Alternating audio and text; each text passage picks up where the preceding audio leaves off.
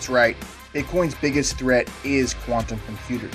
Something that sounded like a sci fi fantasy years ago is potentially on the verge of cracking all encryption and cryptography. What does this mean for Bitcoin? Cryptographers are racing to build a workaround. Within a decade, quantum computers is expected to hack all cell phones and email addresses, including Bitcoin wallets. The race is on for a quantum safe cryptocurrency. However, there is one that has already been created.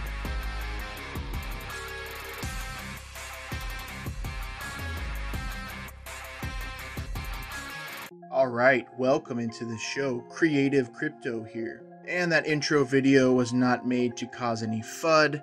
It's merely to inform you guys and educate you guys of the possibilities that could happen one day with quantum computers and technology advancing being a threat to Bitcoin and most cryptocurrencies. Now, that doesn't mean it's going to happen, but it is a possibility, and that's something that you have to factor in into your investment decisions and your portfolio decisions when you're holding cryptocurrencies.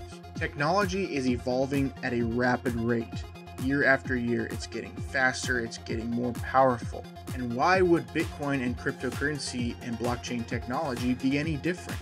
Bitcoin and the type of algorithm it uses could one day be obsolete. Just like VHS tapes and beepers are obsolete today, but back when they were popular, they were very useful technologies and people used them all the time. However, the technology advanced and we got a more reliable, more efficient technology. And that's what I'm looking at here with quantum resistant ledger, QRL. Okay, this blockchain is 100% quantum resistant because of the factors they put in place into this coin. So we're going to look over this and we're going to look at the possibilities of using QRL as a hedge against the market, the potential with this coin to one day possibly be in the top 10 of all crypto market caps because of that hedge aspect. One day people could use QRL as a store of value, similar to Tether, similar to other cryptos. I'm just going to go over a brief overview of QRL and exactly what this does and why this opportunity is something you definitely don't want to overlook, and how I think you should definitely take a small piece, 1% to 2% of your crypto portfolio, and rework it into QRL so you are holding some just in case that one day that this thing does become a store of value for people that are worried about the possibility of a quantum computer hacking most encryption and especially Bitcoin. Because, guys, we see that technology is really advancing. We see this huge curve upwards, and it's really started around this area, all right, around the technology boom the early 90s into the 2000s. That's when everything really started to change. You look at Moore's Law here. Moore's Law and the number of transistors on microchips doubles every two years, right? Going back to the 1970s, you can see how just the microchips have continued to double. They've not only gotten powerful, but they've gotten smaller, able to fit more information into smaller sizes and be much, much more powerful. So this is back when Bitcoin was 2010 all right, and look how much we've already gone up since then. All right, and look how much we've gone up since here. All right, so there's no reason to think that this technology can't continue to advance. We look at just the law of accelerating returns. In the 1900s, we had Charles Babbage invention was designed to solve computational and logistical problems. This was in the 1900s. All right, Colossus, the electronic computer with 1,500 vacuum tubes to help the British crack German codes during World War II. Right? The UNIVAC, the first commercially marketed computer, took up 943 square feet, took up a whole room. Okay? Then Apple came out with this Apple II, got smaller. Notice the technology got more powerful and smaller over time. Then you have the Power Mac in 2000, right? And eventually they are projecting that this is going to lead to the quantum computers being even smarter than human brain power one day because the way that this technology works, it continues to expand and evolve, and it can surpass things that even the human brain is not capable of because it's just rapidly growing. You have artificial intelligence, you have all these different technologies in play, advancing this technology. So, this leads us back to quantum resistant ledger. Okay, this project is fairly new and it's fairly powerful. Okay, a blockchain platform secured by XMSS. XMSS is a NIST approved quantum secure digital asset signature scheme. So you guys can read this over, check this out. All right, but this QRL digital asset is a secure against emerging cryptographic threats. Okay, that's what they are, guys. And not only that, but they are developer friendly okay? Which means, yes, that's right, it means easy to secure smart contracts. So developers can actually make smart contracts on the QRL blockchain. This is their own blockchain, okay? I have tested out myself. I downloaded their wallet. Very easy. You can get on a mobile device or a computer. I just use mine on my phone. You can store your coins on that and use it to send and receive. So this is very good, guys. Not only that, there's mining. They have mining. Okay, think about this as Bitcoin early on, except this has solved most of Bitcoin's problems here. Okay, you have smart contract capabilities, you have mining, you have quantum resistant technology, quantum resistant ledger. Right, this is their team here. You guys can look it over as well. All right, so really, really interesting project. And to me, like I said, I just think this will one day, very young right now, but eventually this can be a store of value for people that are worried about the possibility of quantum computers hacking the encryption of cryptocurrencies, especially Bitcoin, that SHA-256 hashing algorithm. Okay, so I'm going to show you a few other articles here. There are some that are more positive that say that there isn't a chance that SHA-256 can be hacked. Apparently, SHA-256 can be quantum resistant, but then I see other articles saying that it is possible one day with a strong quantum computer to hack into a Bitcoin wallet. And what it would need, it would need the public address and would basically work backwards to then find the private key off of that.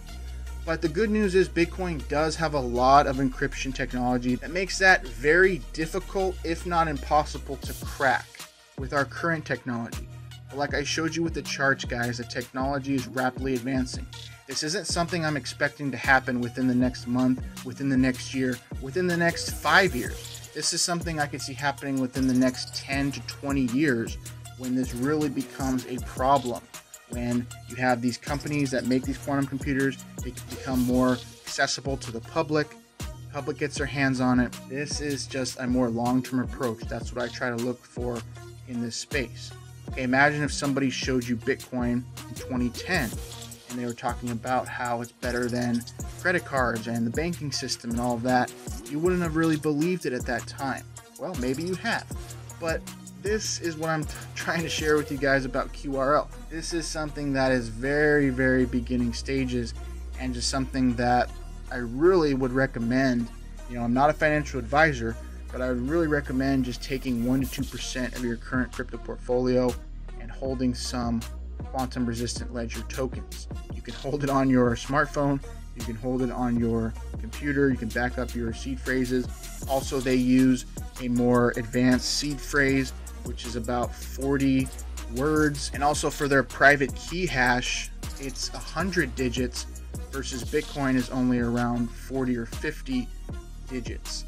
Okay, so they have different securities in place, guys. You guys can check it out and see what you think for yourself. Because, guys, you, you do see articles like this published, okay, that they're saying within a decade, quantum computing is expected to be able to hack cell phones, bank accounts, email addresses, and Bitcoin wallets. Okay, so no guarantee that it does, but what I like to do with portfolios and especially crypto portfolios is have a plan B, C, D, and as many plans as I can.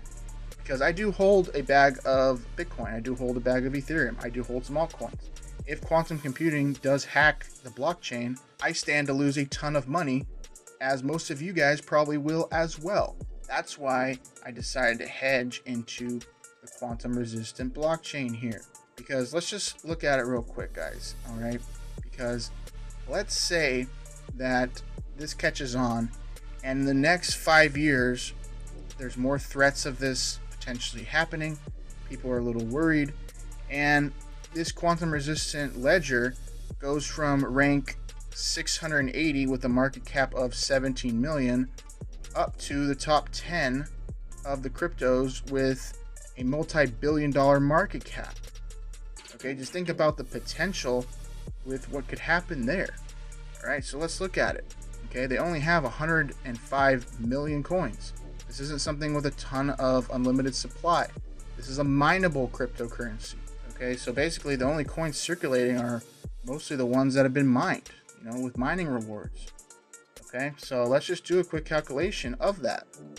So let's say that this does reach tether status within the next five years.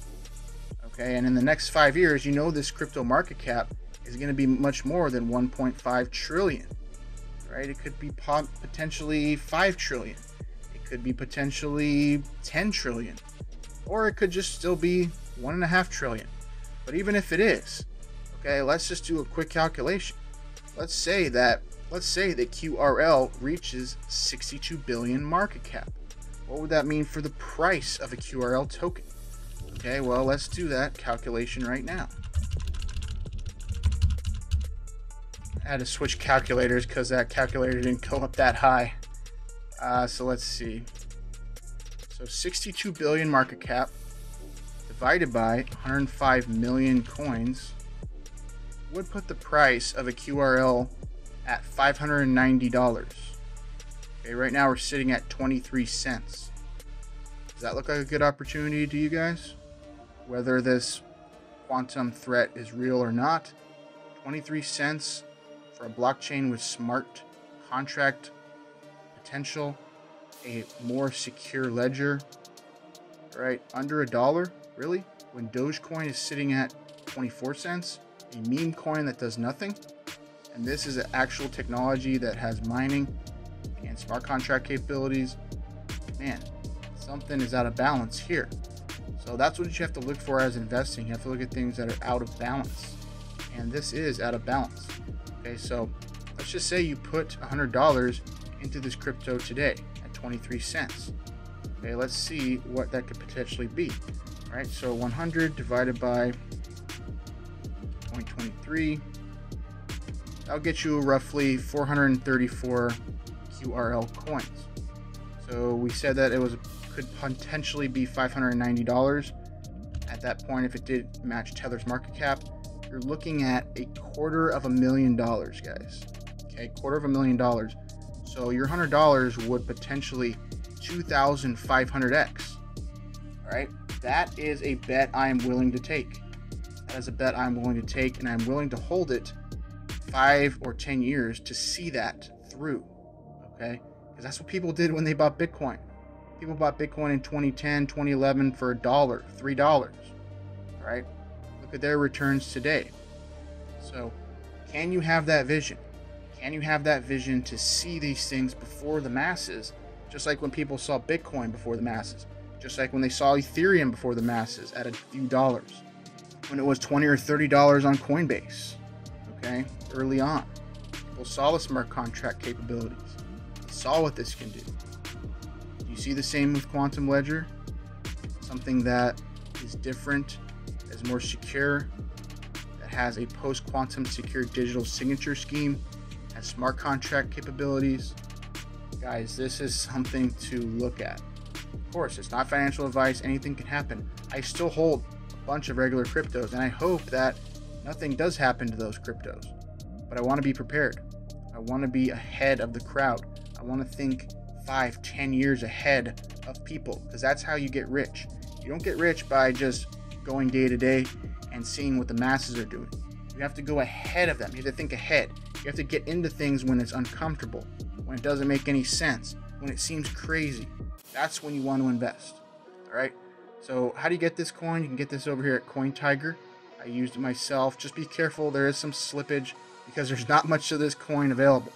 Okay, there's not much of this coin floating around. It's only on this exchange and Bittrex right now.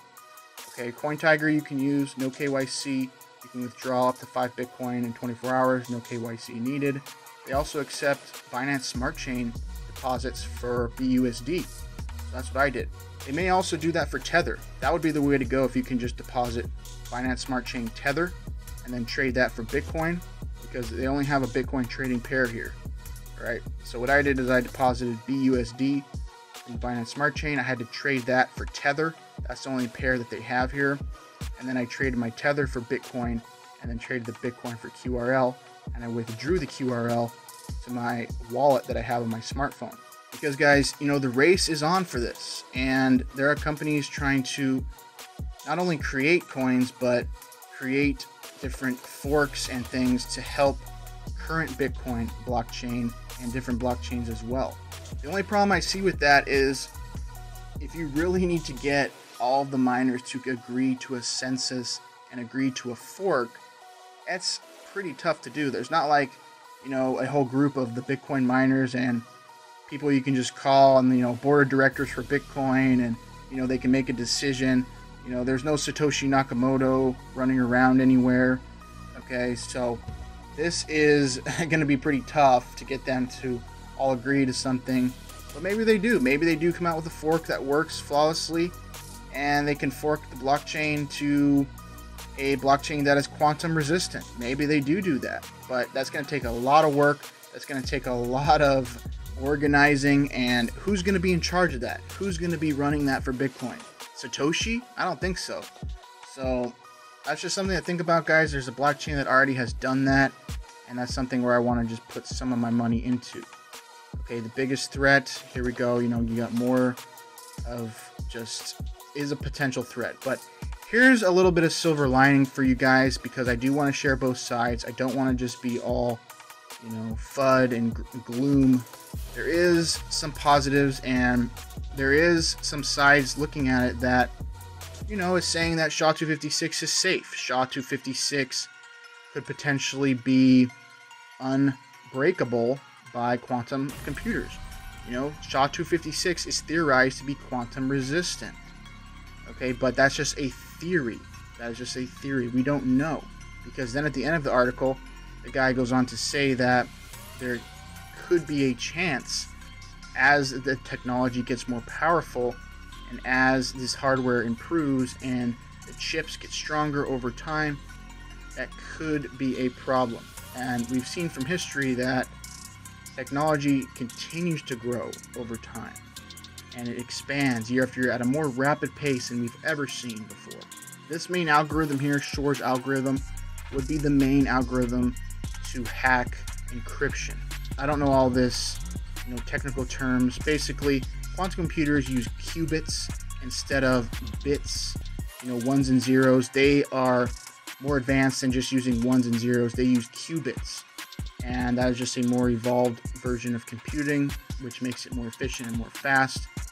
And this Shor's algorithm could potentially be used to crack major encryption. Now, even if it does crack major encryption, like, you know, email addresses, cell phones, examples, you know, those companies can improve that technology and fix that. All right. Your bank account, someone hacks into your bank account and takes all the money. Well, the bank can follow that money and they won't let anybody take that money out and they'll just give you your money back. Okay, your cell phone gets hacked. Well, hopefully you don't have anything too personal on there. All right, email addresses, same thing. You know, they'll come up with a way to defend that. But the thing with that is you have companies that are being paid to do that. Who is paying people to do that for Bitcoin? Who is going to come together for the Bitcoin town hall meeting, the Bitcoin board of directors meeting, and discuss all this stuff? Nobody. Okay, nobody's doing that. So just something to think about, guys. Like I said, it's just something that I've been seeing a lot lately. And I think that is kind of what's being a catalyst to the sell-off that we've seen here from Bitcoin because people are really starting to realize, you know, is Bitcoin really unhackable? Is this really the future? Okay, or is this just the first type of technology of crypto, which it is? It was the first cryptocurrency, but could that potentially be like the first beeper? Could this be like the first VHS tape? You know, like the first iPod, okay, where it's just the first generation of it, but it's not necessarily the best overall product. It's just the first of its kind. Now, how long will it last? Yes, VHS players lasted a while, beepers lasted a while, you know, iPods lasted a while, but those eventually all got replaced. Does that mean Bitcoin one day will get replaced? Potentially. Potentially in the next 10, 20, 30 years, will we even be talking about Bitcoin anymore? Or will there be a new crypto that takes over that is more safe and quantum resistant? Well, time will tell, but I definitely want to hedge my bets and I want to have my chips diversified just in case something like that is coming down the pipeline. I am prepared. So I hope you guys enjoyed this explanation video. And like I said, I did not make this to cause FUD or any type of fear. I just want to show you guys what is really out there and explain the facts and what is really going on. So, hope you guys enjoyed it. Hope you guys get yourself a bag of QRL. Hold that puppy for at least five years. And I'm telling you, if you put a couple hundred bucks in there today, not a, not financial advice, but in the next five years to ten years, you could be looking at a million dollars or more. That's where I see that potentially going, with all the potentials behind that blockchain. And that's when you want to get in, guys. You don't want to buy in at something when it's already in the top 10 of the market cap, like Cardano, like Dogecoin. Okay, you don't you don't want to be buying those. You want to be buying things that are in the top 200, 300, 400, 500 that nobody knows about yet. That could potentially break out one day. That's where you want to be. That's where you want to take a stand, and that's where you want to take a risk. Yes, can you hold top cryptos? Of course, of course. But that doesn't mean that those have to be your end all, be all of your portfolio. Definitely keep an open mind and don't get stuck on any one investment. Alright guys, so that's all I had today. I appreciate you guys watching this video. If you guys enjoyed this, please hit a thumbs up, subscribe for more. Let me know in the comments down below your thoughts on all of these topics. I'll be definitely interested to hear your thoughts and your opinions about this topic. So I hope you guys are having a great day wherever you are. Take care and take charge. And until the next time we will talk again, Creative Crypto out.